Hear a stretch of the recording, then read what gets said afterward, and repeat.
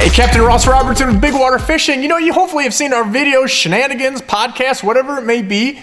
Well, here's what we're doing now if you haven't seen a project boat. Why would I buy a 20 year old boat? I have no idea. But we really wanted to have a little tiller boat. They're kind of a cult like following. They didn't make them that long. The Ranger 618. We took this just absolutely destroyed, tore up, hit, whatever you want to call it, smashed up boat, and we rebuilt this thing from top to bottom. Part one, we're going to show you the trolling motor. So we basically didn't have a trolling motor on it, believe it or not, not on the bow. So we wanted to put a Minn Kota Ultrex on there. So we're gonna show you some tips and tricks and kind of the simple steps that we did to put a bow mount trolling motor on the project boat. You know, when laying out the trolling motor, there was never a trolling bow mount trolling motor on this boat. There's a lot of things you gotta think about. One of them is I really like the Minn Kota plates. That way I can take that motor on and off, whether it's a cover situation, warranty stuff, fixing, whatever it may be. But there's a lot of things you got to think about when you lay this out. So we want to make sure that we have enough clearance here that this motor can deploy easily. Also, if I was to put an Ulterra or a Terrova on, so we need to make sure that plate's over the bow. The other really big thing is, is before you, you know, kind of nail this down, is check with your cover. So you're gonna wanna make sure that this head is inside there. Um, you may even have to modify the cover a little bit. So laying these out makes a really big difference. Think about 10 times before you actually drill it.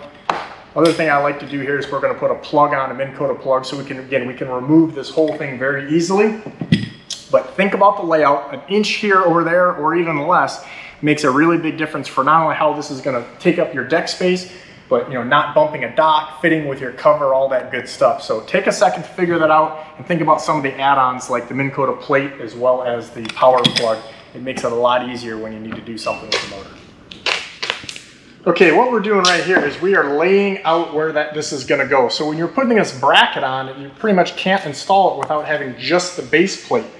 So what I like to do is get it exactly where it needs to go and then put some tape down. So what I'm gonna do is next is I'm gonna remove the trolling motor completely, but I'm gonna have that outline exactly on the angle that I want because we've got this tape down on the deck. And that's gonna allow me to lay out the holes on the next step. So once we take the trolling motor off here, it, be liberal with the tape so that way you can get the exact angle. Any little change there can make a big difference in over the whole five to six foot length. So put the tape down and then just simply mark these holes. We're gonna drill it up and we're gonna attach this plate and then slide on the trolling motor itself. So we're marking the holes here. And the other thing I like to do is because of the way this plate's hanging over, I'm actually gonna make a couple extra holes in here. So we've got four holding it. It's a little bit overkill, but on this back, we've got maybe six, seven, eight inches. So I'm gonna put two more in that groove to make sure this thing's really secured down.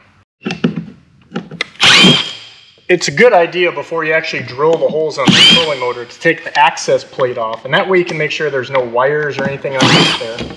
Make sure that all those holes you have are actually gonna have a place that can bite underneath.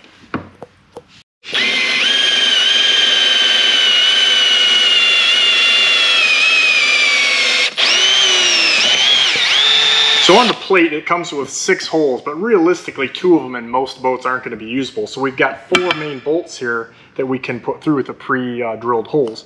So I did is I already took the liberty of putting one extra one in here, so I don't have all this extra flapping. So really simply, we're going to take a center punch, like that. We're going to give ourselves a little starting point, and we're just going to drill an extra hole in here, and that way we've got this whole back end cinched down too. So tighten her right up.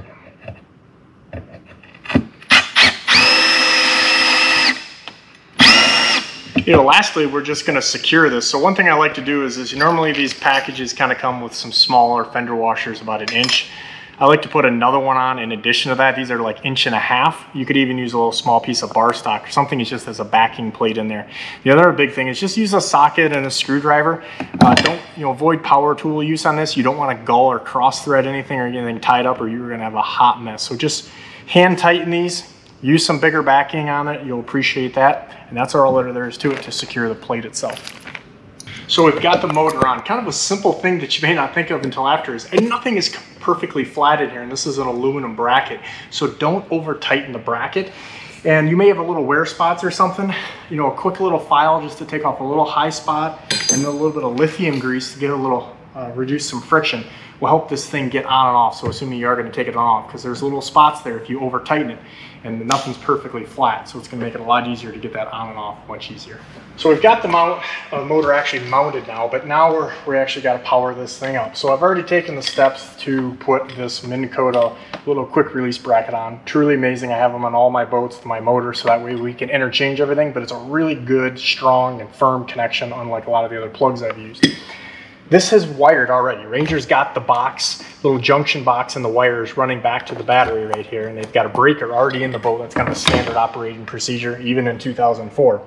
But they've got this little plug here that was set up for, I'm assuming somebody gonna power this up or whatever.